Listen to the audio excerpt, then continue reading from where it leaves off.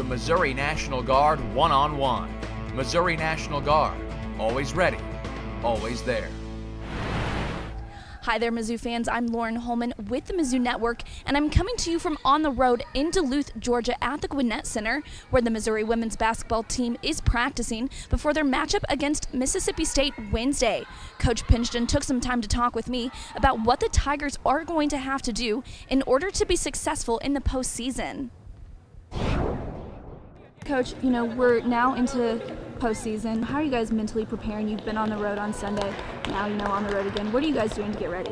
I tell you what, it's been a little bit of a tough stretch. Um, you know, just with our, our travel issues at Arkansas and got delayed uh, getting back and quick turnaround, had about a couple hours to unpack our bags and repack. And, you know, I just think it was really key that we had a chance to come in last night and kind of catch our breath today. But it's an exciting time of the year. You know, you, you start postseason play and it's almost like a third season. You've got the non conference schedule uh, and then you move on to conference play. And when that's done, obviously everybody's records go out the window and you start all over again. And so you got a fresh start start. And, you know, I feel like our kids have had great resiliency all year long.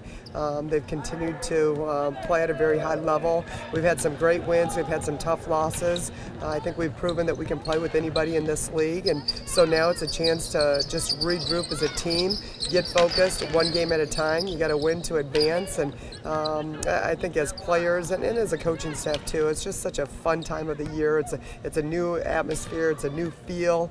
And uh, I think we've learned a lot of lessons along the way, and we're looking forward to hopefully making a run in a tough SEC tournament.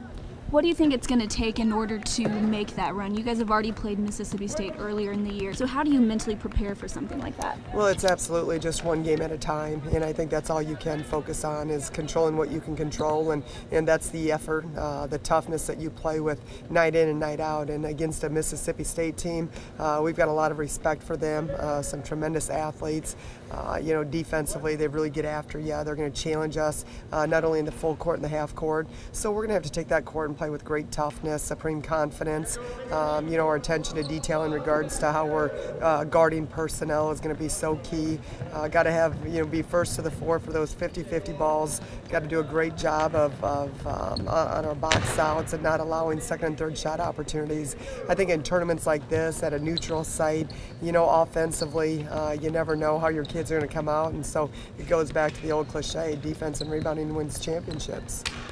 And how excited are you? Bri Kulas and Lianna Doty were recognized with SEC honors. How exciting is that as we head into this postseason? Oh, it's just such an honor for those girls. And, um, you know, you look at Lianna Doty to be named the Scholar Athlete of the Year in the SEC. What a tremendous accomplishment. And she's just, uh, she does so many great things for our program in the community, in the classroom, on the court. Really, really proud of her. Uh, well deserved honor. Bri Kulas, it was um, honestly uh, a pretty emotional award for her, uh, for all of us, because of, you know, the growth that we've seen in Bri. We understand the, the caliber of competition that she's up against and to be recognized as one of the best uh, of the best in a very, very good league. I think the best league in the country. I just think it speaks volumes about the, the respect that people have for her.